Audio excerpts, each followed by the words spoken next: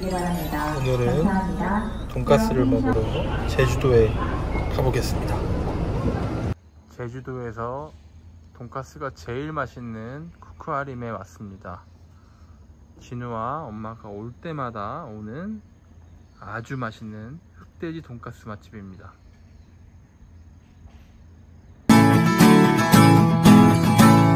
아, 뭐 먹으러 왔어? 돈가스인데 돈가스요? 네. 에피타이저로 나온 홈런볼입니다.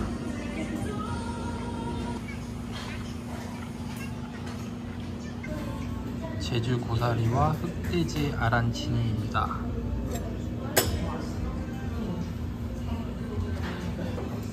고사리와 흑돼지가 다져진 입맛 가득 풍미가 넘치네요. 여보 맛이 어때?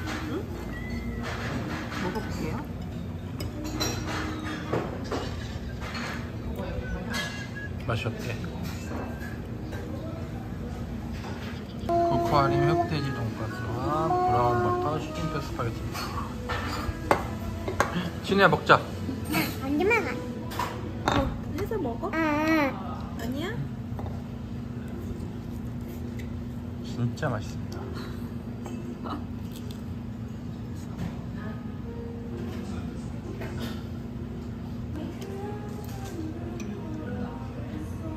맛이야? 불맛 불맛이 나? 그리고 그리고 물맛 말랑말랑해? 응, 그리고 얼음 맛도 나 얼음 맛도 나? 그리고 바람 바람 맛도 바람 맛이 나? 공기 맛도 공기 맛도 나? 구름 맛도 그럼- 그거 엘리멘탈 맛 아니야? 지금 말한 거? 근데 맛이 맛있어 맛이야 영화 맛도 영화 맛이 나? 응. 그만큼 맛있다는 뜻인가? 음, 진우 진짜 잘 먹네. 아, 너 돈가스 솔직히 많이 먹어봤잖아. 이 집이 맛있긴 맛있지? 응? 얘기해봐. 응. 야 10점 만점에 몇 점이야? 그죠 100점? 와, 다 먹었어. 준혜야, 1등. 최고, 최고 해줘.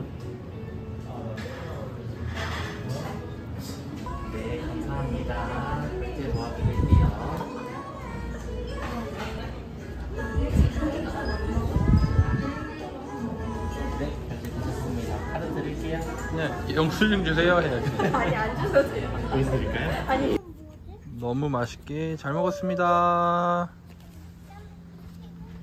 쿠쿠아림.